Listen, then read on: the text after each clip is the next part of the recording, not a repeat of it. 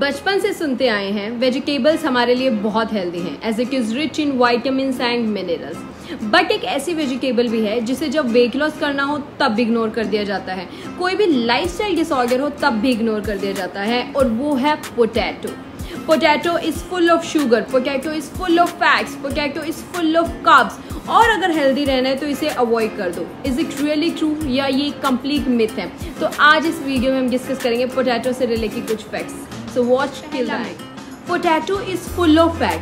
But do you know कि कितना ज़्यादा फैट है so so, 100 gram of potato में सिर्फ़ 0.1 से 0.2 ग्राम्स ऑफ़ फैट है इससे ज़्यादा फैट तो आपकी ब्रोकली में प्रेजेंट होता है। Potato is full of starch but कौन सा स्टार्च पोटैटो में रेजिस्टिंग स्टार्च प्रेजेंट होता है which work as a prebiotic तो ये आपकी गट हेल्थ के लिए बहुत अच्छा है, आपकी डाइजेस्टिव हेल्थ के लिए बहुत अच्छा है। जैसे हर एक वेजिटेबल के अपने बेनिफिट्स होते हैं पोटैटो के भी अपने बेनिफिट्स हैं। एज आई टोल्ड यू के it is full of resisting starch it has antioxidants in it इसमें मैग्नीशियम और पोटेशियम बहुत अच्छे अमाउंट में प्रेजेंट है so it will help you in regulating your blood pressure में भी.